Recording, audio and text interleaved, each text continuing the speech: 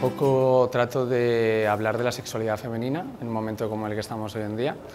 que se habla de la mujer constantemente y he querido expresar de alguna manera una normalización de la misma de una manera libre, abierta y, diversa. Lo que más me inspira de España son sus mujeres. Al final el, trabajo que yo hago es, es como una especie de, de obra completa acerca del universo femenino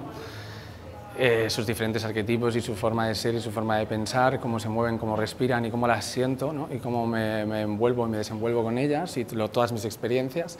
Más que lo que son lugares, hablo de, sentimientos y las mujeres están llenas de ellos. soy profesora además del Centro Superior de Diseño de Moda de Madrid, estoy en constante contacto con la gente de 21 años, 22 años y veo a mi alrededor ideas nuevas, ideas frescas, gente con muchísimas ganas, gente que va a empezar en el sector, entonces Puedo decir que España es un, es un, universo creativo bastante importante y además es que tengo amigos también trabajando en, en, equipos creativos de, de marcas internacionales, entonces España está por ahí.